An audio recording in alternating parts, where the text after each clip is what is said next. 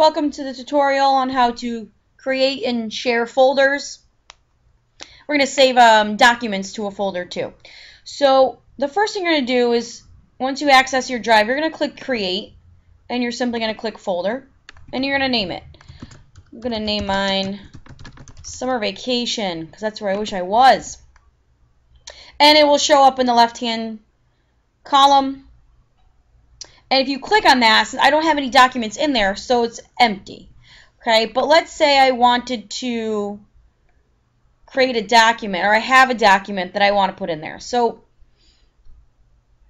you could click on summer vacation and create a document, and it's going to be in this folder because that's the folder I'm already accessing. So, vacation ideas and I might say Myrtle Beach, Rhode Island. Great. Okay.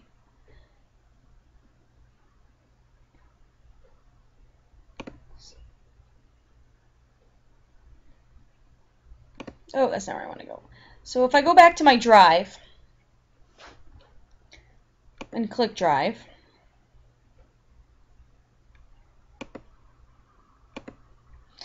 In that summer vacation, I will see that document because I created it in there. If I'm just simply in my drive and I have documents in here, these are all folders, but let's say this document I wanted to save. Oh, let's not use that one. Say I want to take this photo of me playing the, the guitar. Great.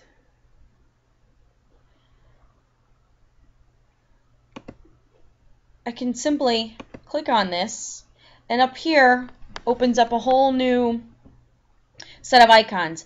I want to move it to summer vacation.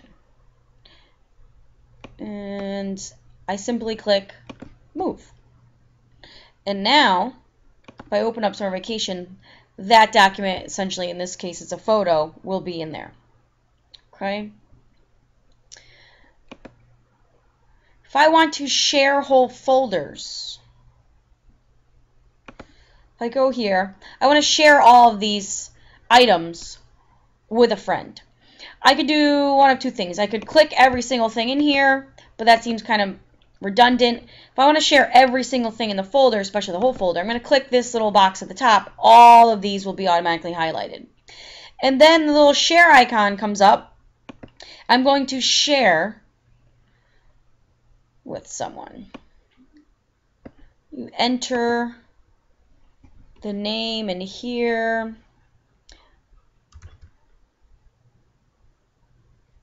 I'll share it with my work address. Okay. And then I click send. Oh, I want them only to be able to view. So I click view and I send it. Okay. And I click done. So now this whole folder was sent to uh, whoever you want to share it with. Let's say you save something in the wrong folder. Let's say I saved week four. And let's say I want to put that in the fun folder. I'm going to move this to fun. And it simply moves.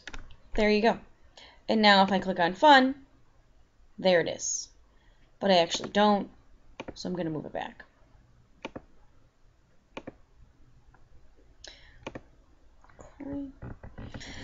So in this tutorial you have learned how to create a folder, summer vacation, okay, how to save documents to your folders, and how to share the folders with someone else.